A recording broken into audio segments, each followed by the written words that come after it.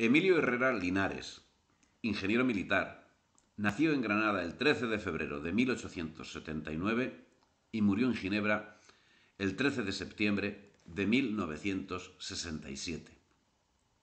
Descendiente de Juan de Herrera, arquitecto del Escorial, fue un ingeniero militar que en 1914 sobrevoló el estrecho de Gibraltar con José Ortiz Echagüe, habiendo obtenido el reconocimiento internacional materializado en la medalla del Aeroclub de Alemania y de la Legión de Honor francesa.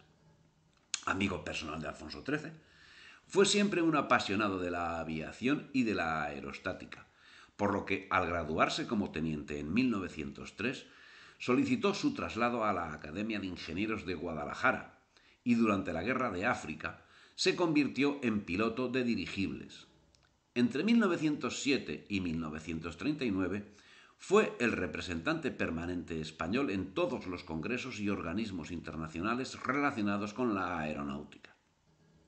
En 1914 acaparó las portadas de toda la prensa europea al ser el primer hombre en sobrevolar el estrecho de Gibraltar en avión pionero de la aviación en España, fue parte esencial en el desarrollo del Laboratorio Aeronáutico de Cuatro Vientos, creado en 1921, y de la Escuela Superior Aeronáutica.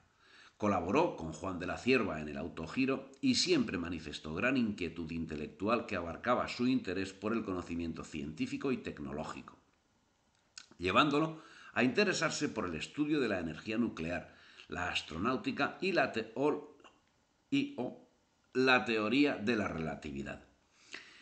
Obsesionado con la ciencia aeroespacial, en 1932 se propuso llegar a la estratosfera a una altitud de 26.000 metros, superando las marcas existentes hasta el momento y cuyos artífices soviéticos, usenses y suizos lo hicieron en cabinas cerradas herméticamente.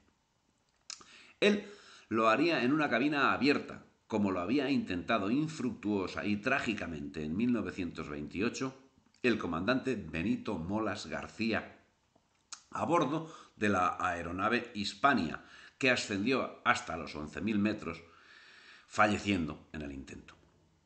Para conseguir su objetivo, en 1933 diseñó un aerostato de 24.000 metros cúbicos, 36 metros de diámetro y 1.740 kilos de peso pero para realizar la hazaña, tan importante como el aerostato, era la confección del traje que debía vestir el piloto, al objeto de no caer en el error que llevó a la muerte a Benito Molas.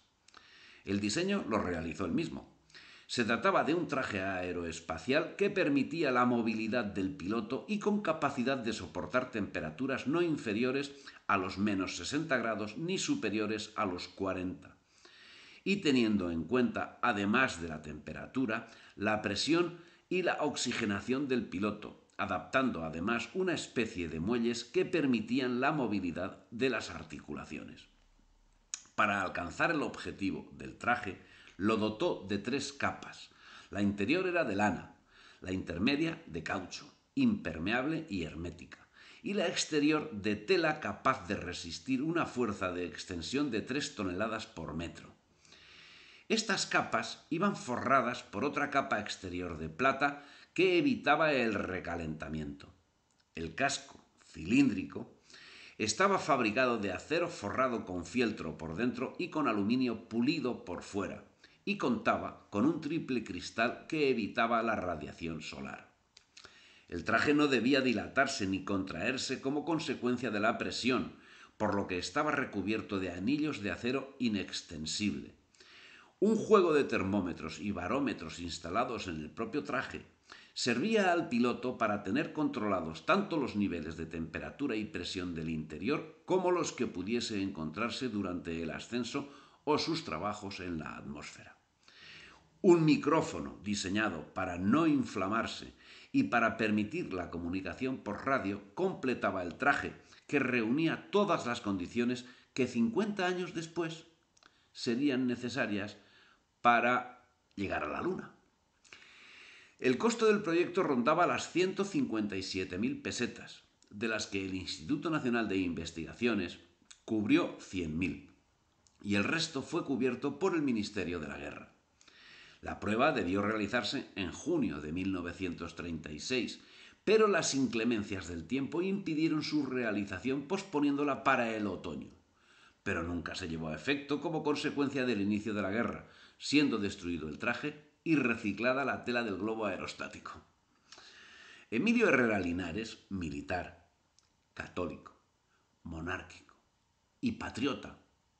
No obstante, tomó parte en la contienda del lado del bando rojo, partiendo para el exilio al finalizar la guerra, habiendo sido presidente full de la Full República en el exilio entre 1960 y 1962.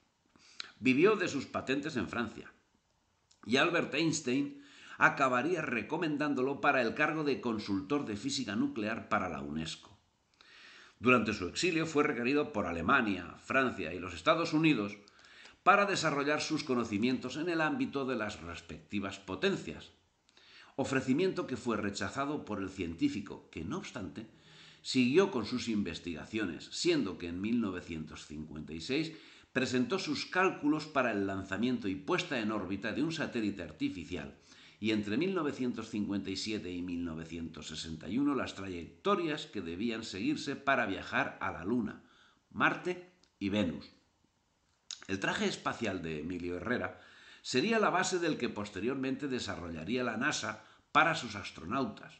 No obstante, por patriotismo, él se negó a colaborar con los usenses, quienes le ofrecieron un cheque en blanco para su captación pero no aceptaron que la bandera española ondease en la misión lunar. En agradecimiento póstumo por su labor, el propio Neil Armstrong entregó una roca lunar a otro de sus colaboradores, Manuel Casajust Rodríguez. Honor a Emilio Herrera.